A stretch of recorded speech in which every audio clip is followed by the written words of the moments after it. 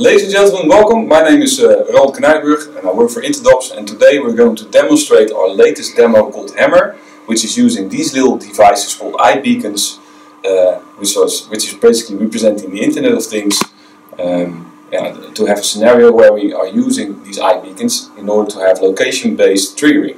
So imagine a situation where you have these beacons somewhere in a room um, once a patient or somebody else is uh, moving towards this iBeacon, and a certain action can be triggered in an app. Uh, these beacons are using Bluetooth.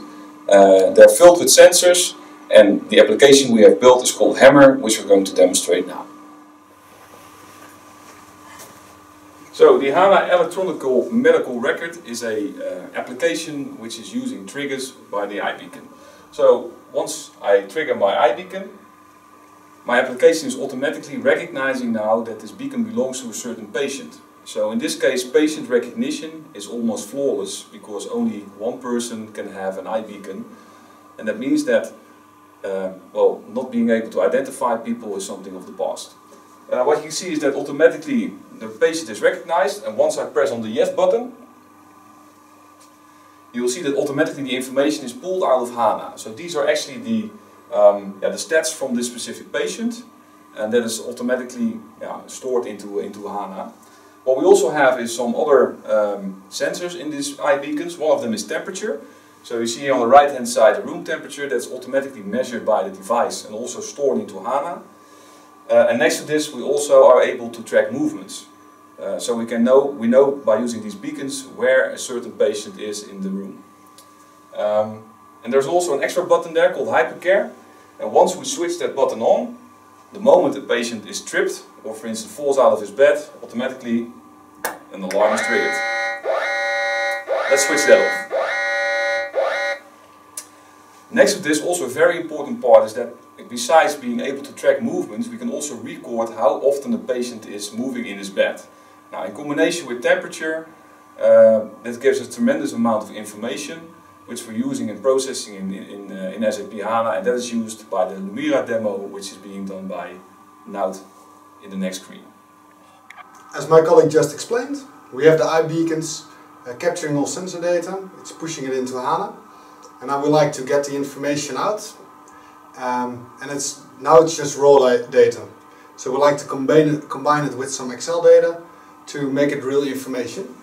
To do this, we just start up Lumira and get into an actual hospital case. In this case we will look at decubitus, which is uh, a term for bed sore. And it basically means if you lay too long in your bed, you become one with your bed, which is something we definitely don't want. Um, so what we'll do now, here we have a, a good information view about movements and temperature. The movements come from our iBeacon and the temperature also. And we have a location. Here we can see, for example, that uh, Larry Ellison here uh, has very low movement. And I think it has to do with the fact that he was in a different room. And here I see it's the operation room, so let me just check if what I think I see is correct with actually the data that I just got.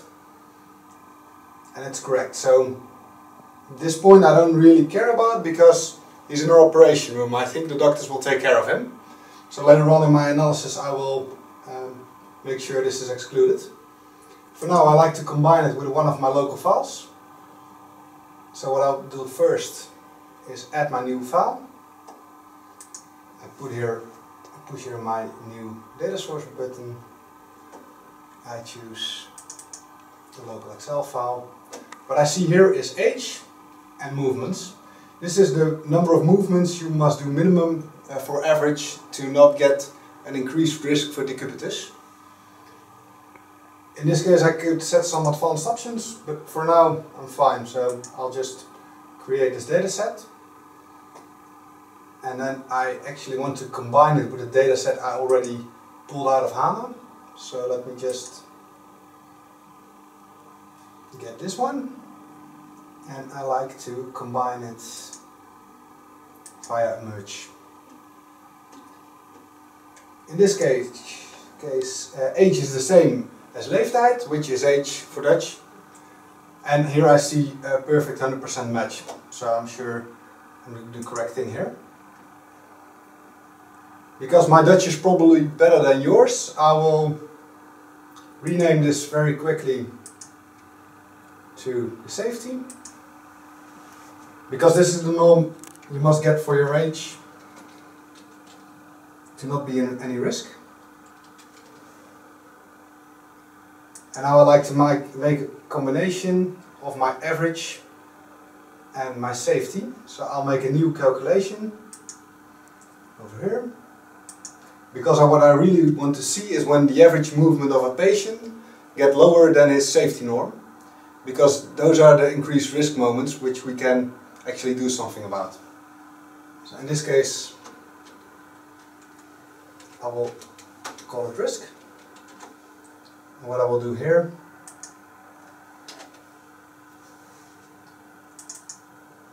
make a condition and I will say if my safety norm no, my mistake if my average just take this out. If my average movement is lower than my safety norm then show me the norm of the safety. And in other cases I'm not really interested in what it will show. Just I'll put just the value 0 in. Now I made a new calculation which should show me the risk of the people based on their age I just combined let me switch back to my visualization tab